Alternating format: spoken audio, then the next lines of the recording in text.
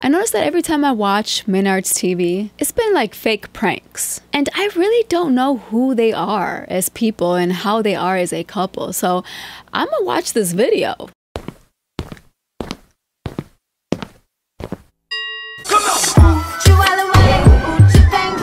Shout out to the Maynards. They left a comment on a reaction that I made on them and they gave me their full support. So I appreciate YouTubers like you, those who understand what reactors are for. but listen, I want to get to know y'all a little bit better. So let's get to this video because it says we're ready to have a baby. Hold up. You're answering some questions, so let's just watch the video. Y'all ready? Let's get it. So tonight we are going to just chop it up with you guys, just have some conversation. Let's talk. You guys have some questions and we're gonna answer them. Okay, we want answers. As always, we got these questions from Instagram. First question. How do you guys face trolls about your marriage and still remain strong and positive? Mm. Oh my god. The, the trolls. trolls be trolling. they bro. do be trolling out there. The trolls do be trolling. They do. I'm not gonna lie. But that's okay. So let me tell you a difference between a troll and an actual person who dislikes you. Okay? Trolls just instigate shit. They could actually very down low like you, but they just want drama. So they just drop little comments here and there to get people talking. And it's terrible because these are people who ain't got no lives, you know what I'm saying? So they're trying to create one so they can watch it unfold. So them trolls are worse than the haters, trust me. It comes it comes with the territory. It comes with the territory. It does. And what did Kanye say? If they don't say nothing, I'll be worried. Like, I'll be worried if they ain't saying nothing. Like, yeah, yeah. literally. And like, what did Katt Williams say? Katt Williams said, if you ain't got no haters, you need to figure out how to get somebody someone, you feel me? No, and that's real. Yeah. And all jokes aside, that's real, you know what I mean? Like, coming into this to this game here, this is something that we had to learn very early on with the negative comments. Even though like our audience and our true supporters, they ride for us, they rock with us, and you guys are very, very positive, and we feel like you guys are a reflection. And they're louder than the, the, the trolls. That's another thing. The love is louder than the hate. You know what I mean? The hate just stings, but You're I think doing it's something wrong if you don't have haters. You're Like, doing something very wrong. That's what I'm saying. Like, fuck the trolls. Let's talk about the haters now. Good publicity is good publicity. Bad publicity is good publicity. Whichever way it goes, they're talking about you, right? Whether you're a hater, a lover, a viewer, or just a reactor, okay? If we talking about you, it's a good thing. That's what I keep telling these YouTubers, Maynards, but they ain't listening. You gotta explain it to them. not you're not you're not on your way to where you want to be if you don't have people Trying to take you down. trying to take you down, trying to hate on you. You feel me? Mm-hmm. So I think all in all, it's about knowing who you are as a person Mm-hmm. and being true to that. If you know exactly who you are as a person, can't nobody knock you off Exactly. your can't nothing nobody say knock you off your grind. You know what I mean? Because at the end of the day, life is all about perception. You might not rock what we doing, what we doing, and that's cool. You feel me? So we just really don't let it bother us. We don't You can't- give you can't the allow it. energy. 'cause Yeah. As You can't as allow you it. give it the energy, That's when it got you. You know what I'm saying? exactly. That's when it And. I And if y'all know my history, I learned it early on as well. That's why I am able to be on YouTube and to take all the heat and to take all the negativity that I get in my comments or from other YouTubers because it's part of the game. This is YouTube. Okay, I know me putting myself out there, I'm gonna get some negative feedback, and that's okay. If you build for this, you build for it. If you're not, get the fuck out the kitchen. It might be too hot for way you. Way too precious. Yeah. To be giving it to somebody who doesn't like us. Exactly. And the thing is, haters low key love you. They that's love you. the thing. It don't affect us though. Like Yeah. at all. Like that's the last thing. And you shouldn't allow it to about. affect yeah, you. We don't think about it. So yeah, that's Yeah. that. But we all are human. And if you heard her say it might sting a little, it's because it's true. There might be some things that you may be insecure about, and someone in the comments points it out. It's gonna sting. But you have to remember that this this person, they don't even have a face to them. They know nothing about you. They only see your videos. And you know nothing about them. So why let a person who doesn't even know you affect your life? So you have to just have to constantly remind yourself every time you read a negative comment. Next question is, do you guys plan to have an official wedding? If so, where would you have where would the destination be? I'm gonna let you take this one, my baby. Wait, are you guys not married? I used to want to make it like a huge big wedding, but I think the way we got married was perfect mm, mm. because I'm seeing people spend so much money on a wedding just for other people and it's not Yup. really for you. You've got to feed hundreds of mouths. fly people out, X, Y, and Z. Like Preach if we were gonna do it again, if we if we do it again, Yeah. I think it would be very small, very intimate, Mm-hmm. and that's that. Because I mean, we have a very small circle. Like as in, it's just this. Like, Yeah. Yes. Let me explain. I had a wedding that I worked very hard for. I had a regular employment job, nine to five, with regular tech pay in my career.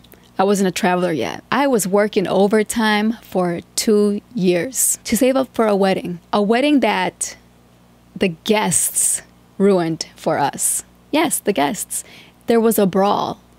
My family and her family got physically into it. The cops came and ended our wedding early. I never got a sorry from any of them. A wedding that big with 150 guests is it's really a show. It's more so for the guests than for you and your wife.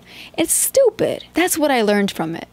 So if I ever were to marry again, it's only going to be me and my partner. It's going to be romantic, it's going to be intimate, and we're not trying to impress anybody else. So I'm with y'all on this. Our circle, circle. yeah, our circle's not huge. So, So I'm not about to go and spend my money on everybody else because really a wedding is is not really for you. It's for everybody else. So now that I've really deeped it and I thought about it, if we was to do a wedding, it'd be somewhere tropical on the beach. absolutely. Um, I would like to do a wedding. Yeah. I would like to eventually do a wedding. yeah, I'm not saying like we're not gonna do one. But it's just definitely not on the forefront right now. It's not something that we are planning in Mm-hmm. the moment. But I think, I think a wedding to like celebrate one of our anniversaries. You know what I'm saying? Would be would be fire. That would be but cute, again, yeah. Definitely small. Like a five-year anniversary intimate. wedding would be just nice. Just to have that experience. That experience would be beautiful. I would love to see you in a wedding dress. Like a, a, a wedding dress. Like I, I Well, would, it wouldn't be your I typical love- wedding dress. I'll tell you yeah, that. of course. Gotta show that body. But I, I would like to experience that. But it's just it's not it's not something pressing. You know what I mean? Like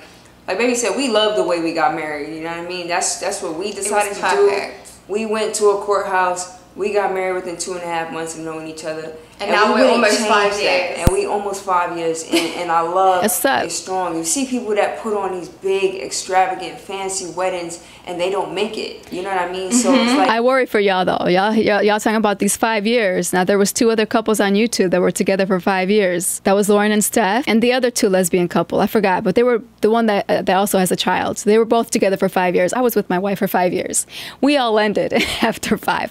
If y'all can make it to six years, it might last. It's Man, just for just- show. It literally is Yeah, for show. and it we- doesn't. It doesn't scream us, and it doesn't scream our authentic self. Exactly. And we not we not in the business of really putting on a show for nobody. Like the things that we do are truly because we want to do it and we want to experience it. So at the moment, it's up in the air. We don't really know, but that could change in a year. That could change in two years. And if it mm-hmm. changes, then we'll roll with it. But like we just not traditional at all. and We're so far from we're so far. And we that's just, what's we up. just do our thing. That's just how we rock. I you like know it. me? I love that. Yeah. All right, next question. How do you quit a bad job? Random ass question. Damn. I think you should answer this That's one. a good one. Honestly, my and I I quit my job, but my job wasn't a bad job, mm. right? My job was a great job for its time, but I outgrew it and I wanted more. I wanted I wanted more for myself. You know what I mean? I wanted to control my time. I wanted to do something that I lo- really loved and enjoyed. And um, for me, I had to walk away and just take a leap of faith. Like all of the ducks weren't in a row, and I and that's what I thought. I thought I wouldn't I wouldn't retire from my nine to five until like everything was perfect. But there's no perfect moment. If you have that desire inside of you, That's right. To, to walk away and do something else, Do you it. You kind of have to follow that. Take you that risk. That with a leap of faith, and You then have to. obviously have to have something else in place. So if you don't already have something else brewing on the side, then you need to go find out Prepare. whether that's another job for you or if you Don't get me wrong. There's been times where I just would get so upset with whatever the situation may be, a toxic work environment. You know how many times I would have loved to just say, fuck all of you and just quit right on the spot? That would be so nice. But as an adult, and you got expenses, you got bills to pay, you can't stop that income. So I always put those two weeks. But the drastic career change that I did was I stayed in the career field that I've always been in for 14 years, but this time I became a traveler. I took the risk of leaving the hospital that I was working at for eight years, left the house that I bought, and decided to rent it out to tenants, gave my car to my parents, bought a new car, adding on to a whole new car note, left my family behind, and started traveling in my field where I have no family, no friends anywhere around me. And it was the best risk I've ever taken in my whole entire life. It actually took me out of depression. That's the best decision I've ever made. And I'm not saying that every leap you take is going to be a positive one. You don't know that, but it will lead to it. There ain't nothing wrong with challenging yourselves. Challenge yourself. To kind of do your own thing. Then when you get off from work, you should be. If you want, if you want something to change, you have to change it.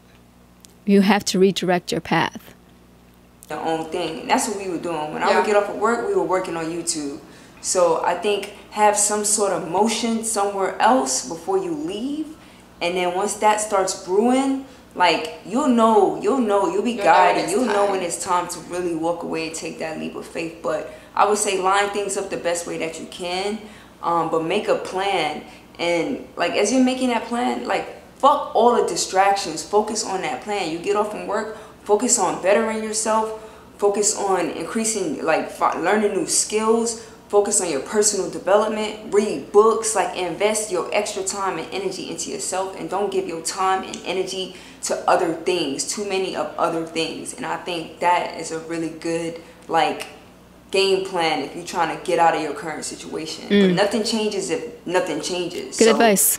You can't just like I hate my job, sit there, complain, complain, complain, right. complain, and. I hate hearing that shit. Every hospital I go to, there's always those employees. It's always bitch. You know why I hate it so much? Because it reminded me of myself at that time. But everyone who changed their lives for the better don't want to hear that shit. I don't want to hear it. I don't want to hear you motherfuckers complain every single day I come into work. Change your life if you hate it that bad. And I don't want to hear excuses. I'm always hearing excuses of, well, I have kids, I have too many expenses, I can't take those risks. Yes, you can, especially if you're a parent. You have more reason to take risks and to better your situation. I only did it for myself. so I had to have self motivation. But you have other motivations like your children. To change, you gotta change. Mm. You gotta move your feet. Love it. Good job, girl. Good, good answer. Noah's right here, like sleeping on the, the avocado okay. Do you see, do you see yourself staying in Miami? You're in Miami too. Goddamn, everybody's in Miami. Shannon and uh, Amanda are in Miami too. Don't know. Like we just, we just we go with however we, go we with feel. the flow. Like we go. There's so much of the world to see, and to to be planted some one place is just obviously not something that's been a part of our lives. We have moved around a lot, and while we while we love Miami and we're enjoying being here.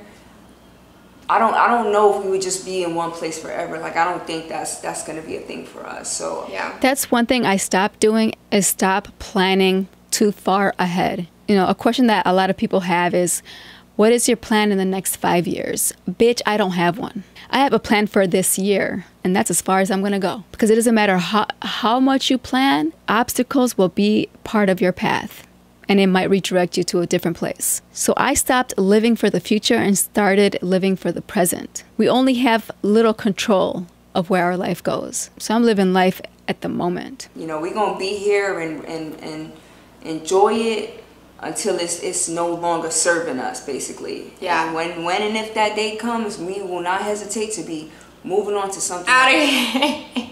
Facts. That's what we do. If yeah. we're not feeling it, we pack up and go. Somebody asked that before, like, why do you guys always move so much? Like, staying in one place is not it. You don't learn like, much you, neither. You, you, outgrow your environment. Yes. It's just like when people stay in their hometowns, you can't stay in your hometown and grow. Yes. That's, it's not possible.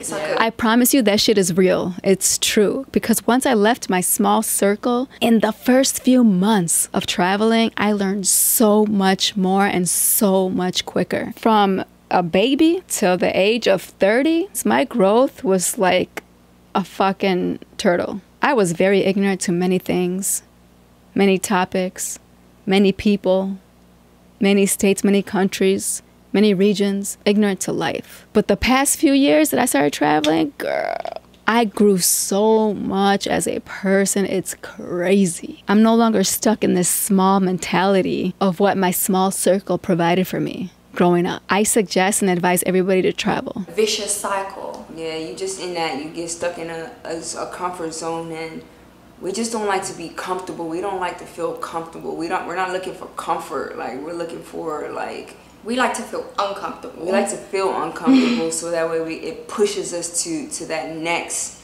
like stage, that next level. So forever I don't know about that one. Mm-hmm. But we here now and we gonna enjoy it while we here and we gonna make our mark in this city while we here. That's basically what we're doing now.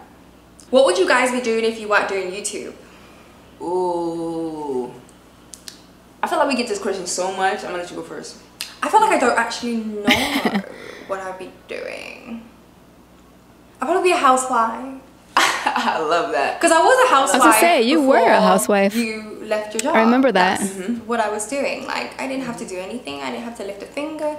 I followed them when they had a very small sub count, so I remember those times. Um, obviously, you know, I did my wifey duties. But yeah, I think I'd probably just be a housewife. Mm. And you taught me, no, like, go get it. Go get it. Yeah.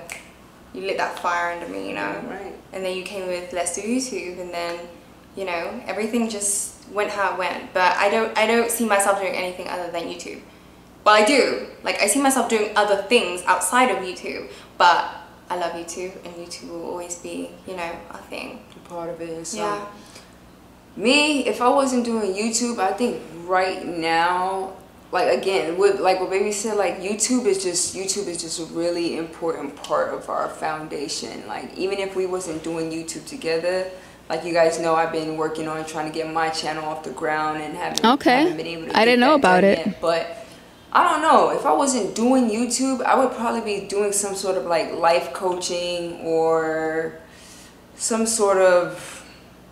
Yeah, I think I would just be like some sort of like life coach.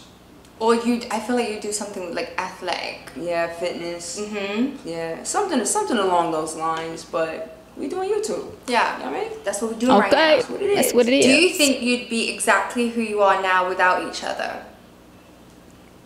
No. Absolutely not. I hope not. No. I don't know what my life would be. I hope not because every person you come across is supposed to help you change, whether that's negative or positive. But you're supposed to learn from every person that crosses paths with you. So, good. Me you. Likewise. And I don't not to say like bad, like it would be, my life would be bad, but I feel like I, you saved me just as much as I saved you. Yeah. Yeah, and that's that. Like, like, like I, I couldn't even fathom life without my wife.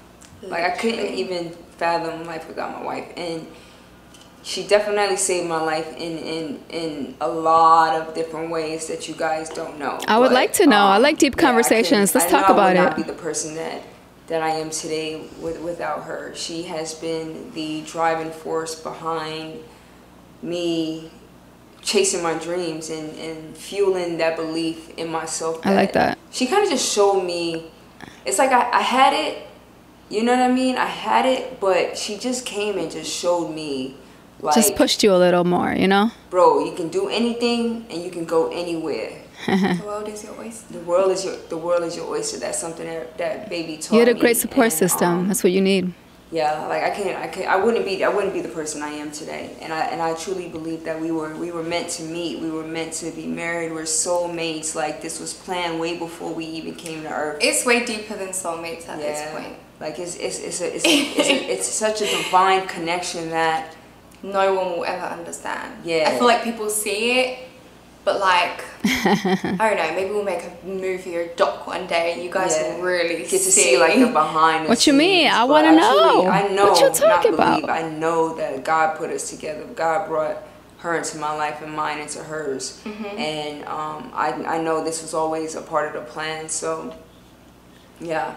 There's no me without her and her without me at this point in our lives. It's like we It's Prince and Tati forever. Oh, It's okay. forever. It's it's forever. It's a forever thing for sure. Are you guys planning on having a child soon? Oh, baby Ask talk. that question? Oh no my way. God. No way.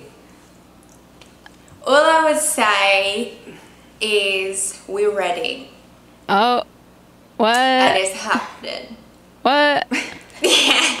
For real or nah? Y'all joking? We're definitely ready. And um time frame, we don't have a time frame. We know you guys want to know From my understanding, um, from what I can remember, Prince had a child and lost the child um, very young. I don't know the backstory behind it though. And because when I started watching, I've seen pictures in the background and on the wall, and I was wondering about it and I saw the comments on it. And it's just, I still don't know what happened. So when I started watching and following them, they never brought it up or talked about it. But I did stop watching for a while, and so I don't know. X, Y, and We don't, we don't have that. I don't know if they'll ever talk know, about the it. Process with us being two women is very, very different. Mm-hmm. So, but we will tell you that we are we're ready. Like, and I think that we've you know, we've had a lot of conversations with you guys about the whole baby topic, right? And we always desired, like we always knew we want kids. We want to Right. have kids. We always Right. knew that. But we were we weren't never ready. Fully ready. Like fully ready, like fully ready. And 'Cause you were career driven, we I get it. that we are ready. We have clarity on on it Okay. and we've had the conversation and we are ready. So Okay, so when does the process just, you know, start? the specifics is just something that you guys question. are obviously gonna have to stay tuned for. what? But just know that we are one thousand percent ready to become parents. Yeah, and I think Okay. we're blessed to be able to make that decision. Some people don't get to make that decision when they're ready. It's like Yeah. ready or not, you know what I mean? That's true. I feel like we're super, super blessed to be able to d- decide when we're ready. Yeah. You know what I Absolutely. mean? And I think that like bringing a child into this world. There's also a downside to that. I've always wanted a child, but I decided to wait till I found my person, so I thought my wife, and that's when I tried to have a child is at age 30. So it was obviously more difficult to try to conceive because of my age. And it didn't work out. I think I decided to wait too long, but I did not want to become a single parent. And but look, if I did have a child, I would have been single parent anyways. So It's it's what it is. Huge. Yeah. And it's huge for us, and we've had to go through so many hurdles and so many things before we could bring a child into this world. Absolutely. Absolutely. And some of you guys know, not all of you, because I don't. It's not something that I speak about. Oh, here we go. Um, because I'm extremely, extremely protective Yeah. of um, Your story. protective of her, especially because she's no longer here. But some of you guys know that I did lose a child. You know, my daughter passed away in 2017 at the age of four. Four years um, old. due to cancer. Damn. And that, I think, Mm. like deep down in my, deep down in my subconscious, made me afraid of, like, wanting to have a kid. You know, because like losing a kid is Ooh, is that shit got me emotional. A child's innocent, you know? It's crazy. Is is is just like I'm sorry, girl, very, that you went through painful. that. So I don't know, like I, I, I always knew I wanted to have a kid with my wife, um, but it's just I don't know. I think I was just like never all the way in on the decision because Mm-hmm. because I was afraid. You know what I mean? Because that's something that like It causes like- trauma. like I feel like I would be so terrified of. You If know it what I happened mean? again, yeah. But I think that I have, I have healed. You know, I have healed, and and there, there's nothing I want more than to to to recreate um, with the love of my life. So, yeah. I think one of the like secrets the like secret recipes to to our marriage is that They want to know the, s- the secret.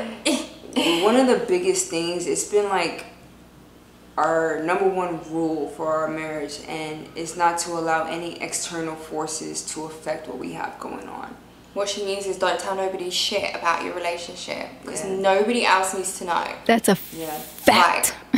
Not family, not friends. Listen, in every relationship I've been in, in every dating situation I've been in, I'm very private. The only thing that you'll ever hear me talk about when it comes to my situationship or relationship or my partners is positive things. I will only talk to you about the good things because the bumps in the road, the roller coaster rides, the emotional shit that we're going through sometimes behind closed doors ain't none of your business. Okay, those are things that it's between us that we will fix on our own or that we will work on together. Adding people into the mix and for them to give their opinion is only going to influence your decision making and it can make your situation worse. And I'm also very protective. I'd be damned if anybody talks about my partner in a negative way. I might be thinking the same, like, yeah, yeah, she does have a little attitude. Yeah, she's a little rude. Yeah, she ain't got no manners. I don't like to use the word bitch. I've never called my partners out of their name. But some of them had those behaviors. but you can't say that though. And my family also knows that too. They know damn well they cannot say nothing negative about my relationships. So I never knew their true opinions on any of them until after things end. Then they let me know all the things they thought about. I'm like, oh damn, I didn't know y'all thought like that, but okay. friends, not anybody. Yeah. What happens between us stays between us. And I think that's where people really, really go wrong is because they'll have a fight with their partner and call their friend and be cussing out their partner and X, Y, and Z, and then that person's going to give their perception. I never did that. Not in that position. I would never vent Like, negatively about my partners. You know what I mean? And then you've got people telling you this in your ear and that in your ear that's swaying your decision. In my opinion, communication is key. Talk it out with your partner instead of venting it to someone else. But because you won't talk to your partner about it, you're venting negatively about your partner to other people. And now they feel something negative towards your partner. Now you're just creating enemies for the person that you so called love. you don't even know what you think. So I think that that is the secret sauce is Yeah.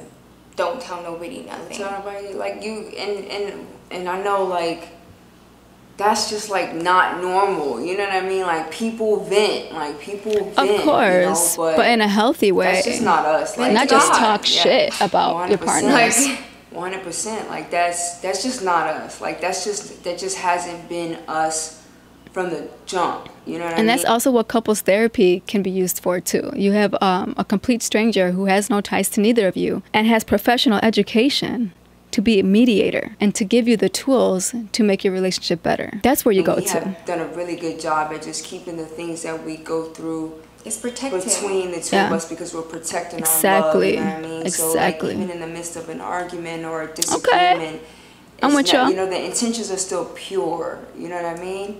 And then obviously communication. Yeah, communication. We all know that communication.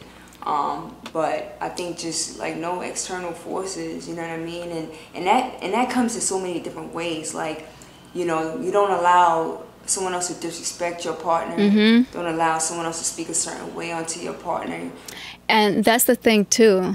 Like let's say for example, if your partner is going at it with your friend or your family member your parent, and you know damn well your partner is in the wrong. But guess what I'm gonna do? I'm gonna stick by my partner's side. If my partner is disrespecting anybody that I love, I'm gonna tell her to stop.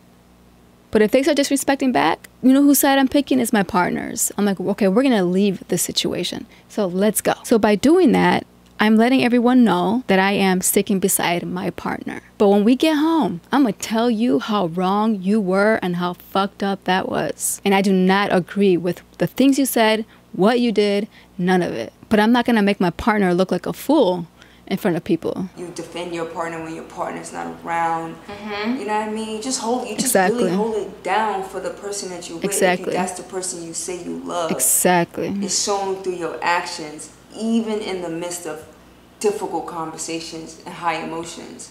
And Oh, I think that's just kind of how we how we roll. You know what I'm saying? We keep it. We just keep it real tight. Like we keep the love present Yeah. at all times. Yeah, it's just that intention's pure, Yeah, you have to have pure intent. Like we could be arguing, and I'm still gonna make you food. Yeah. I'm still gonna take care of you. yeah. Like I'm not just gonna go. Of and course. just leave Yeah. you be. Be like, mature I about it. Still always care and love you. Yeah. And a big thing too, I'm gonna just keep it real frank for lesbians especially. Please like, talk on it. When you arguing with your partner, don't go don't go involving your ex. Like that's a big thing, especially What? in our community. Like don't do that. Don't do that. What you mean? What you mean? Some of y'all need to hear that. That's a big thing. Don't- don't do that. Your ex should not be involved in your current Oh, oh relationship oh, oh, I see. at all. Yeah. At all. So That is your yeah. Past. Love you guys. We love you guys so much, and we appreciate y'all for rocking with us. We on year four of this thing, and we on the road to a million. And this year is gonna be big. It's gonna be a big year for us. Huge. Huge. All right, that's it for today's video. I learned a lot, and if y'all want to watch the whole video, go to their channel and check it out. I can't do no hour video now because I do talk a lot. I apologize. See y'all next video. Peace.